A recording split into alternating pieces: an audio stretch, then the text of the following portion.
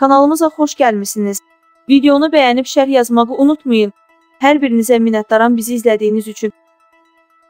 Müğənni Günel Ələkbərova həmkarları Nadir Qafarzadə və Ayın Babakişiyevanın qalmaqallı videosundan danışıb. Biri az axşam azı istinadən xəbər verir ki, görüntüləri Günel öz səhifəsində yaymışdı.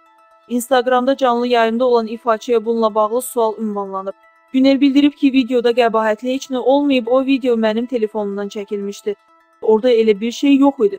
Sadəcə olaraq yaşlılardan uzaq, mənəvi cəhətdən kasad insanlar nəyi necə görürlərsə elə canlandırırlar. Şişirtdilər ki, dodaqdan öpüşdülər. Onu belə etmək lazım deyildi. Nadir gözəl insandı. Çoxlarında olmayan vicdan, qürur, insani davranış, ailəsinə bağlılıq məhz Nadirdə var. Onun gözəl xanımı var. Dəxlisiz nələrsə etməklə gözdən düşməz. Nadirin üzr istəməyini anlamadım. Orada bir şey yox idi. Buna başqa cür don geyindirdilər, başqa şey yapışdırdılar. Ayan da yaxşı qız, gözəl anadır. İllərdir Nadirlə ailəlikcə dostdurlar. Sənət dostumu qucaqlayıb öpürəmsə, nəsə var kimisə əksik işi olsa kamera önündə etməz.